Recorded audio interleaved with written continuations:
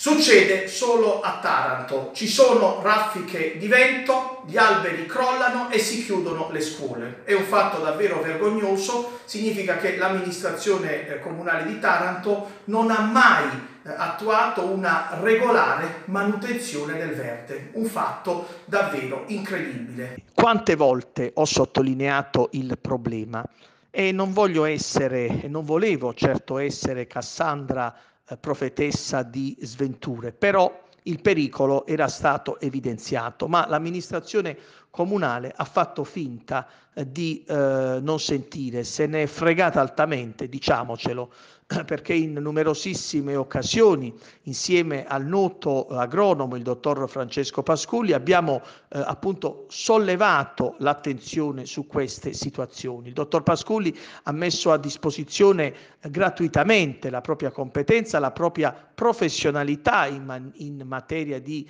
eh, gestione, di manutenzione del verde urbano. Nessun interesse eh, dichiarato da parte dell'amministrazione.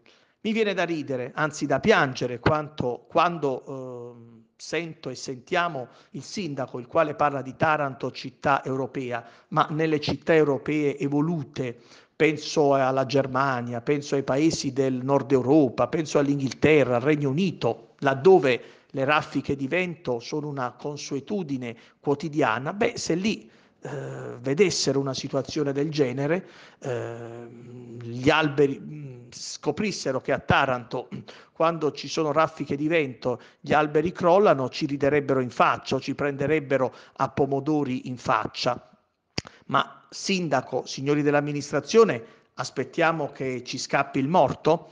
Ora in fretta e in furia, così in maniera rapida, bisognerà eh, intervenire per cercare di mettere in sicurezza i vari alberi, eh, così in maniera rapida, in maniera estemporanea, quando invece il problema poteva essere ehm, affrontato in maniera programmata. Ecco, la parola programmazione manca all'amministrazione comunale di Taranto. Si interviene quando la frittata è bella e fatta, ma sembra quasi di essere all'epoca nella triste eh, e drammatica per il territorio tarantino era Stefano.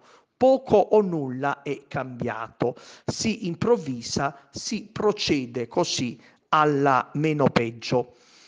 E mi rivolgo all'assessore Vigiano, eh, assessore al verde, e spesso strombazza il proprio impegno e quello dell'amministrazione in ambito di eh, verde pubblico, di ambiente.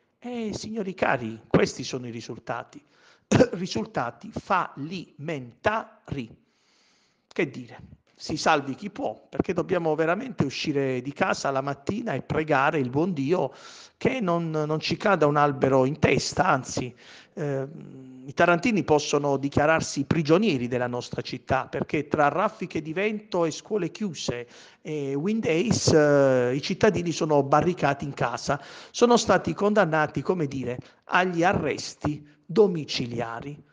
Beh, però non vi preoccupate cittadini, il sindaco ha detto che Taranto è una città europea. Posso dirlo alla tarantina maniera, sindaco, ma dov'è sindaco? C'è ste dici. Beh, scusate lo sfogo in dialetto, ma quando ci vuole, ci vuole. E che dire, speriamo che nessun albero ci piombi in testa. Infatti, con ordinanza numero 6 il sindaco ha eh, disposto la eh, chiusura per giorno 14 febbraio eh, di tutte le scuole di ogni ordine e grado del territorio appunto del comune di Taranto. Beh, insomma, è un fatto davvero grave, molto ma molto significativo. Immaginate un po' cosa poteva succedere se quegli alberi malauguratamente, anziché cadere sulle auto o appunto sui marciapiedi si fossero abbattuti, fossero piombati addosso sulla testa di un uh, qualsiasi passante, di un bambino. Riflettete cittadini, riflettete.